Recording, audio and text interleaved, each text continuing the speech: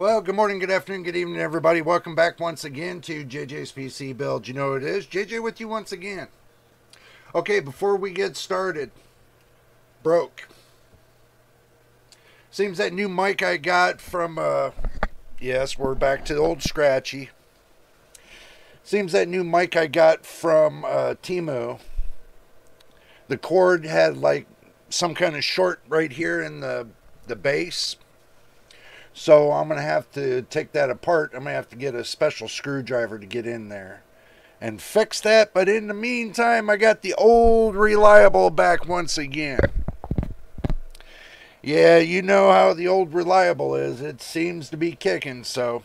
But that's not why we're here today. What we're here today is to talk about the 99 or not the 99.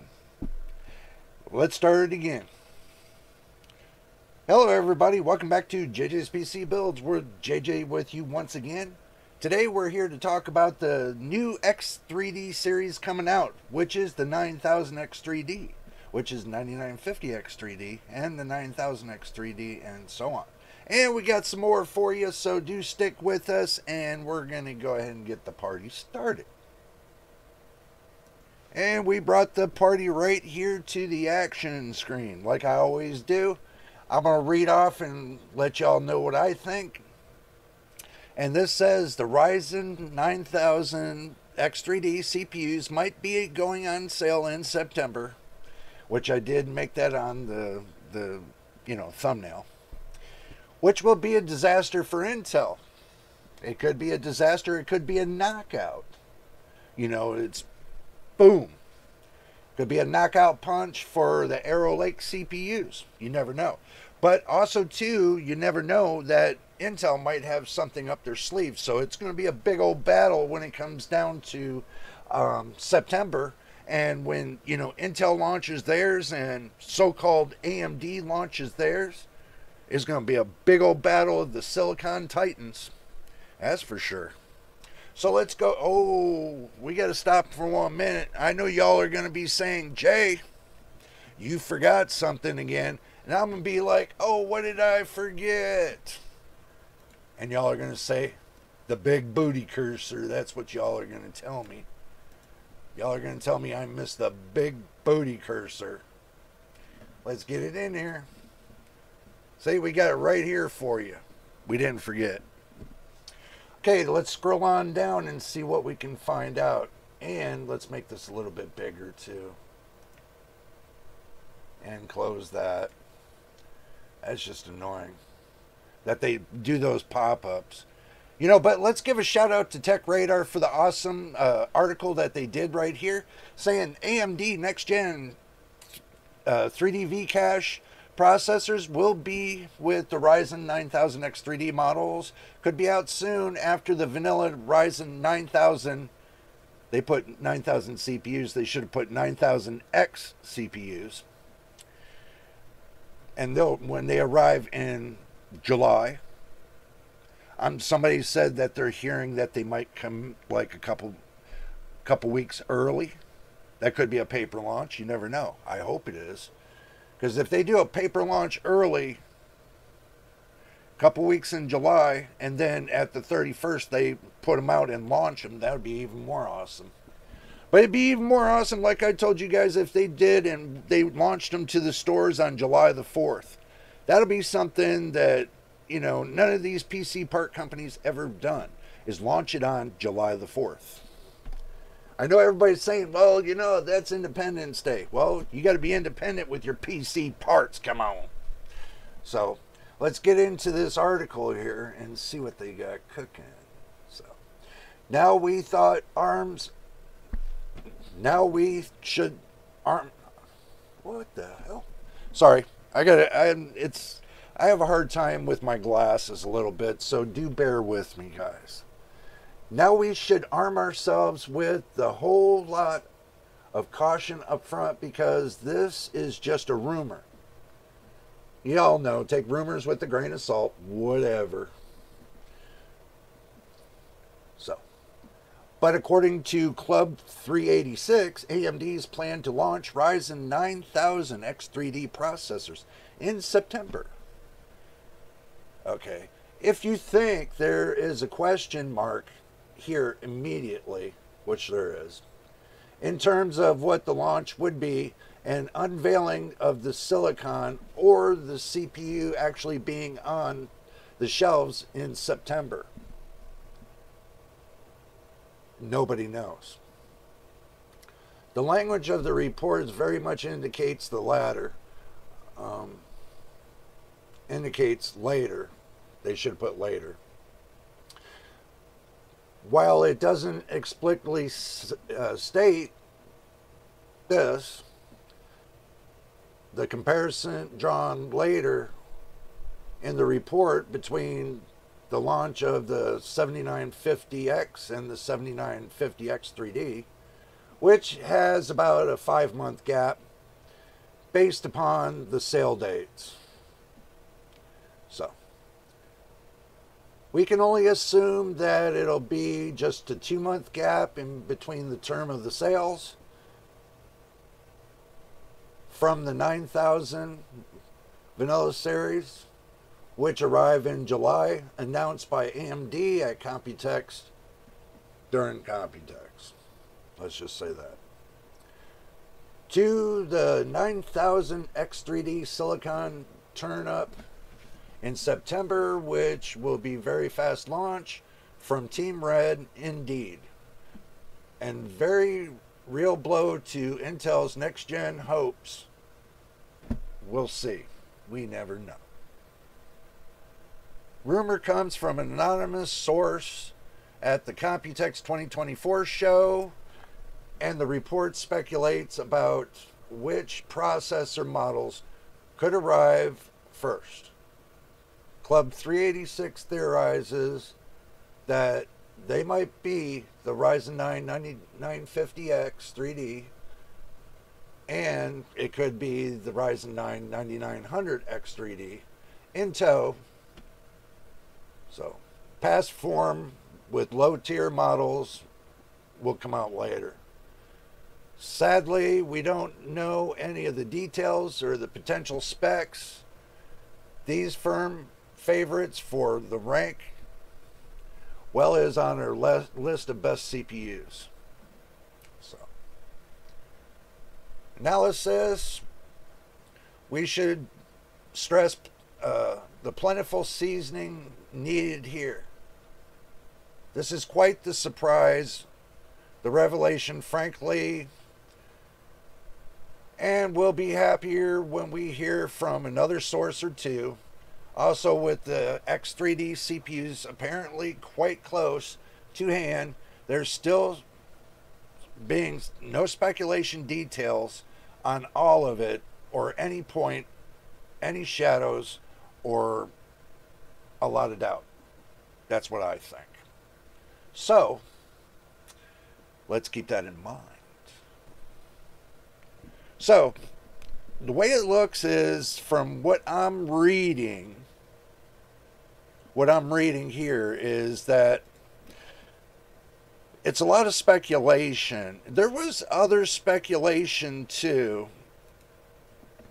about another thing that popped up about the 9700X. So that's what we're going to right now. And this popped up on my radar for um, Tech Power Up. So this says right here, AMD to revise the specs on the Ryzen 7 9700X to increase the TDP to 120 watts, beating the 7800X 3D. Okay, now I want you all to hear this. We all know that adding more power to a CPU or a GPU is going to actually raise the performance a little bit better. A little bit, not a lot. So keep that in mind when you're thinking about, you know, whoa, it's going from 65 watts to 120 watts. Okay, so it's getting what, 55 more watts? Really? Even though I keep my processor at 71 watts and it's only rated for 65 watts, but the PPT is only rated up to 88 watts, so I keep it right in the middle. but I still get the performance I need, even though that it's, you know, you go to these little bottleneck sites and they say, oh, you know, you, your your CPU's bottlenecking your GPU. You need a better CPU. Yeah, all right.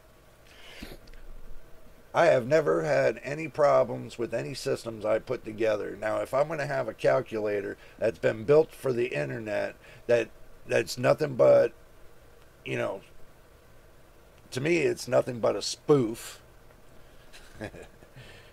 and, you know, this bottlenecking, if you know, if you know the usage on your CPU and you know the, and you see the, the margins and you got like HWiNFO to watch how much usage is on your CPU and how much usage is on your GPU to know how to balance it and then, you know, go from there.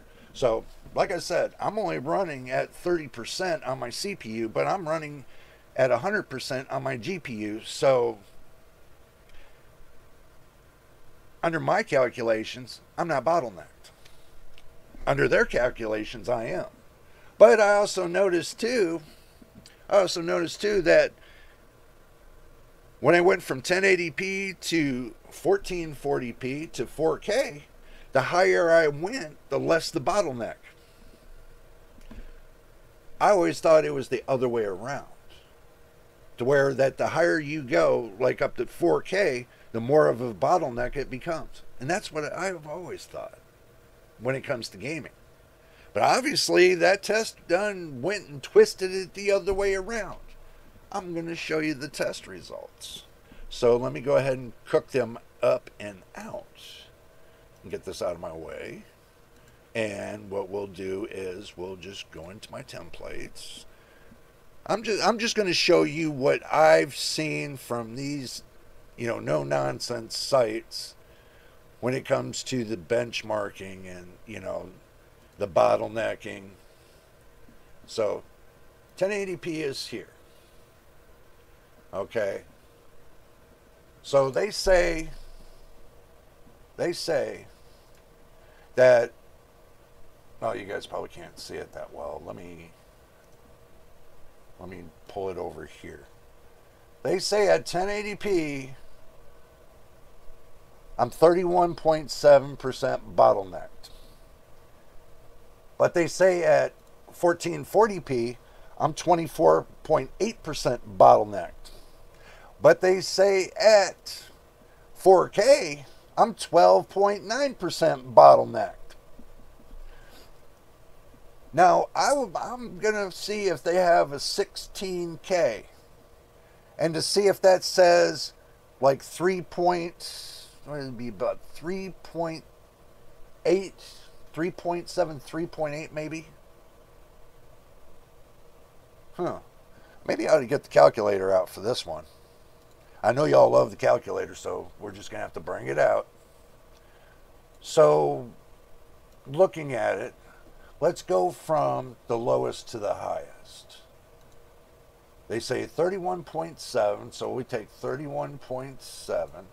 We'll minus it from the 4K, which is 12.9. So you're telling me that my G, my CPU is 18.8% bottlenecked going from 1080p to 4K. So I lose this 18.8% if I run 4K. That's what it was saying. And as you can see, that's what it says on the test. So something something to me ain't right with these tests. And I was bringing that up in Discord to my Discord patrons. And I just say, there's something wrong with this. There's something badly wrong with this. Because if I'm at 4K with the 5700X and the RTX 4070, not the Super, the 4070 at 4K, you're telling me it's 12.9%. So I've been playing at 1080p with no problem, no stuttering, no nada, a couple hundred FPS. The lows are pretty good. Lows stay, you know, over the 100 mark. So that's at 1080p. But they say I'm 31.7% bottlenecked. It's just this calculator is not right, people. Just just to say that calculator is not right. There's no way in frig that you know, and I ran the test myself and I just showed you all the tests. So as I go up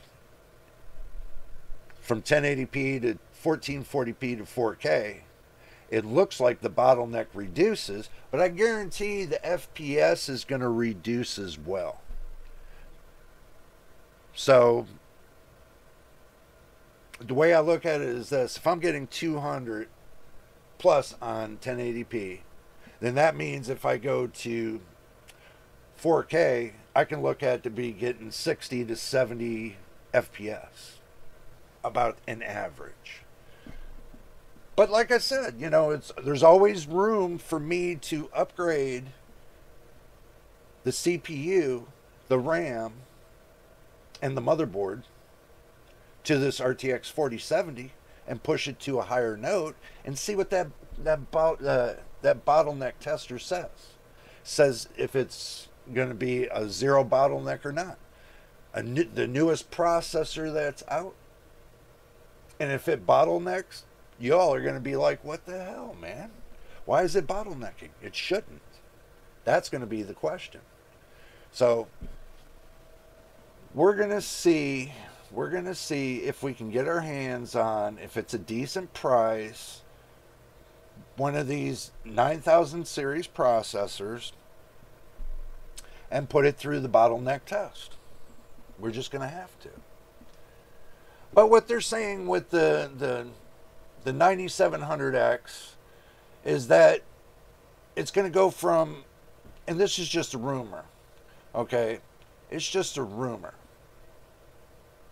So they're saying that the 9700X is going to go from 65 watts to 120 watts. That's going to be 15 watts higher than the 7600X. That's what they're saying. So, but it's a rumor and leak. We don't we won't know until they launch. Okay? Take it with a grain of salt right now until they get up to the launch point, and then after the testing, then we can say for sure if this is what happened or not. So, if I can get my hands on it, I'm going to test it for y'all and I'm going to go live just to let you know that. But if I can't get my hands on it, I guess I'm going to be waiting like everybody else for the benchmarks to come out and assess, you know, what I think about those benchmarks and let you all know what I think. So, we're going to work towards trying to get one of these new processors, but I truthfully I'm going to wait a little bit is because I'm going to wait for the 800 series motherboards to come out. They say that the 9000 series processors are going to be coming out, the X processors, and then a little bit later, the 800 series motherboards are going to come out. So if it come, the 800 series motherboards come out in between July and September, they might come out in August. So that would be something different if those 800 series motherboards came out in August. So July, you got the 9000 series vanilla processors. And then August, you got the 800 series motherboard. And then in September, you got, guess what? You got the X3D processors, the new ones. The bigger of the bunch.